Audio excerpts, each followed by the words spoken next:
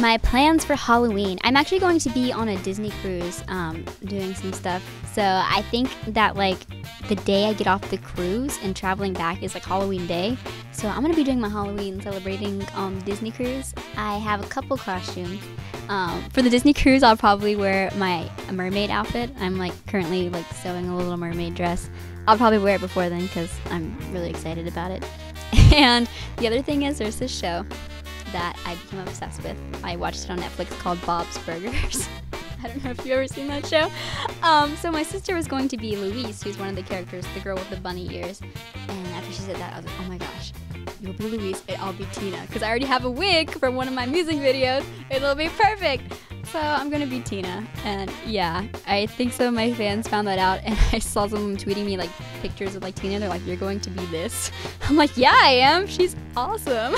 I love Tina. She's hilarious.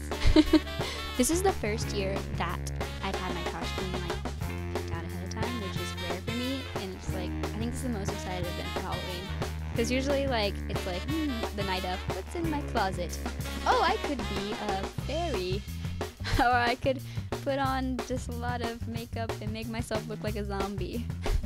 When it comes to my Instagram posts, I find that my fans probably love the most whenever I'll do like pictures of like myself, like selfies, which is weird to me because I am so awful when it comes to selfies. Like.